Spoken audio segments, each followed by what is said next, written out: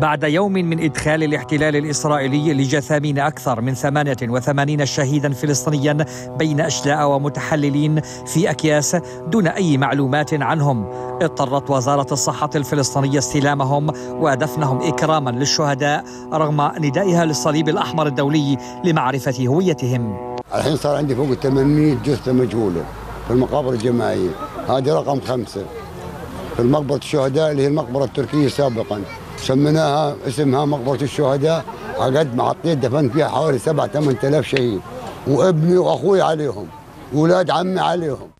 الشهداء دفنوا دون معرفة من هم وكيف استشهدوا ومن أين نبش الاحتلال قبورهم وماذا استأصل من أحشائهم بعد أن تغيرت ملامحهم في محاولة من الاحتلال أن يغيب حقيقته الوحشية عن العالم بأسره والتي مارسها ضد عائلات بأكملها بأطفالها ونسائها وشيوخها. أنا والله جاي أطلع على الجتات قلنا كود يفتحون نعرف ابننا فينا. بشوف الشيء ما يعرفوا ولا قراضين يفتحوا نشوف لأن المحللات أنا متواجد في هذا المكان كرمال إن أنا أتفقد الشهداء الموجودين هنا. يعلى وعسى يطلع ابني من ضمنهم. إيه بتمنى من الله يكون لأ. ظني يطلع غلط. إلى أربع شهور فاقد ابني.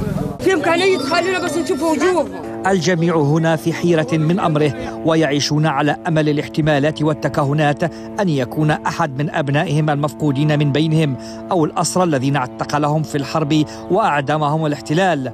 ولا سبيل لمعرفة ذلك بعد أن رفض الاحتلال الإفصاح عن أسمائهم. وسيبقون أرقاما في مقبرة جماعية غيبهم الموت وماتت حقيقة ما جرى معهم. وسام أبو زيد التلفزيون الجزائري. فلسطين.